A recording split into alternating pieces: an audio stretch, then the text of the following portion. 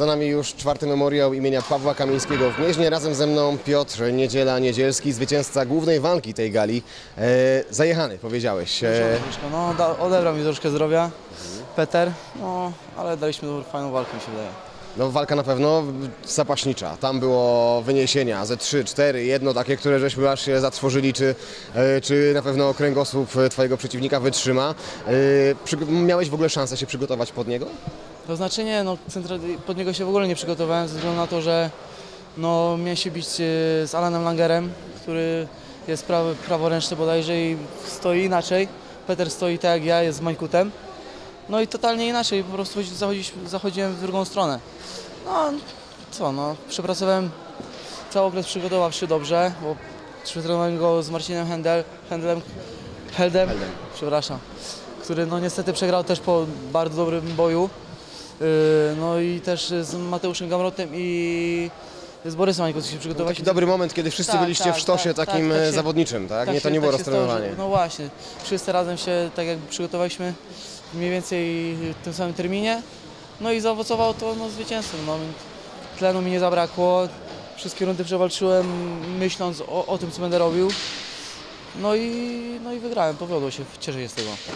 zapaśniczo stawiał opór, bo wydawało się, że z rundy na rundę masz coraz większą taką pewność siebie, taki luz, y, taką swobodę tego ruchu i później właściwie było widać, że w stójce próbowałeś postraszyć, ale widać było dążenie do tego klinczu albo ze- zejścia do nóg i, i, i trzepnięcie nim, bo tak to nazwijmy, bo e, kilka e, wyniesień było takich naprawdę no, ponad głowę.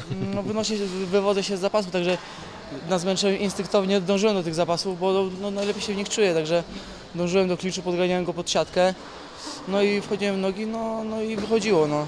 Cieszę się z tego, no. nie, nie, nie będę się z chłopakiem bo- boksował, gdzie, gdzie no, no wiadomo, no, trenuję jeszcze tą stujeczkę, no ale lepiej czuję się w parterze, no. Jasne. Co teraz powiedz, jak się czujesz z wynikiem 6-1 na koncie? To już Cię plasuje gdzieś tam całkiem wysoko rankingowo. Ja wiem, rankingi nie walczą, rankingi, ale rankingi decydują czasem o tym, czy jest angaż na kolejną galę, czy jego nie ma, czy e, stawka idzie w górę, czy, czy nie idzie. Tak więc tutaj e, to Twoje pole do popisu robi się coraz większe, ale też no, pewnie część zawodników już będzie mówić, nie, nie, z 6-1 to ja walczyć nie chcę.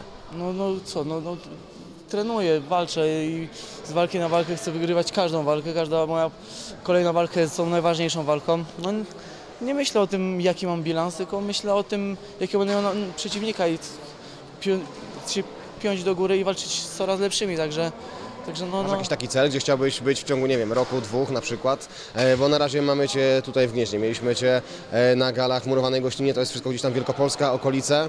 E, to, są, to są takie fajnie organizowane eventy, ale mniejszego kalibru. Myślisz o czymś, e, masz jakiś taki coś tam z tyłu głowy, co mówi, kurde, Piotrek, robimy to, robimy. Tak, no jasne, teraz na polskim rynku pojawia się coraz więcej gal, które są no, puszczane na otwartym telewizji, na przykład w Polsacie, w Polsacie czy na otwartym telewizji, gdzie ogląda to dużo, dużo więcej ludzi. Jasne, no chciałbym się bić na takich galach, chciałbym się pokazywać y, coraz szerszej publiczności, no.